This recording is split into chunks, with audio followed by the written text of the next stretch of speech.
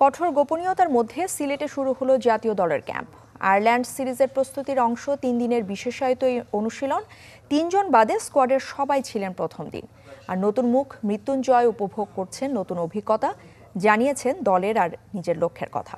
সিলেট থেকে আশিক রুদ্র report, camera ছিলেন আলমগীর হোসেন। কেনাকাটায় একশো পার্সেন্ট পর্যন্ত ক্যাশব্যাক জিতে নিন বিএমডব্লিউ সহ হাজার হাজার পুরস্কার। কঠোর গোপনীয়তা আয়ারল্যান্ড সিরিজের জন্য সিলেটে তিন দিনের ক্যাম্পের প্রথম দিন। সকাল সাড়ে নয়টায় শুরু অনুশীলন, তবে গণমাধ্যম কর্মীরা প্রবেশাধিকার পেয়েছে আড়াই ঘণ্টা পর।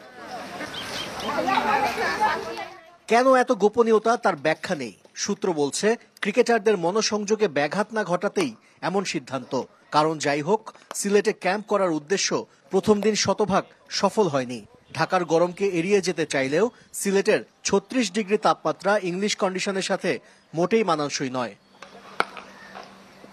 তবে সবুজ উইকেটের স্বাদ মিটেছে। তিন ভাগে ভাগ হয়ে চলেছে স্কিল ট্রেনিং।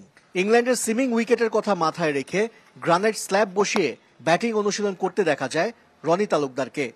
ইংল্যান্ডের উইকেট বাউন্সে আছে। তো সেই ক্ষেত্রে সিলেটের উইকেটের কিন্তু একটা সুনাম আছে আগে থেকেই।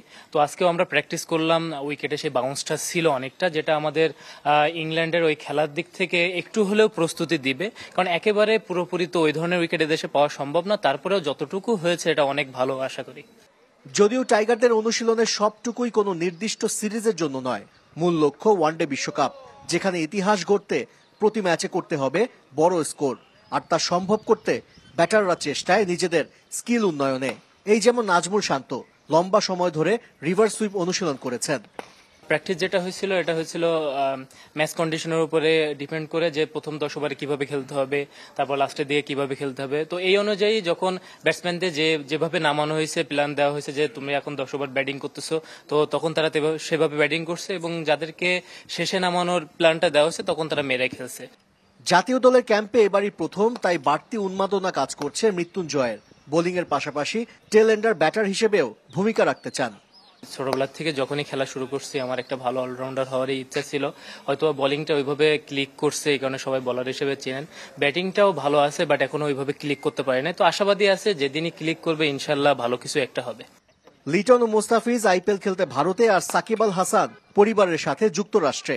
তিন ক্রিকেটারই দলের সাথে সরাসরি ইংল্যান্ডে যোগ দেবেন। ক্যাম্পে ক্রিকেটারদের অনুশীলনে সহায়তা করেছেন স্কোয়াডের বাইরে থাকা সৈয়দ খালেদ, রেজাউর রহমান রাজা ও আবু জায়দ রাহি।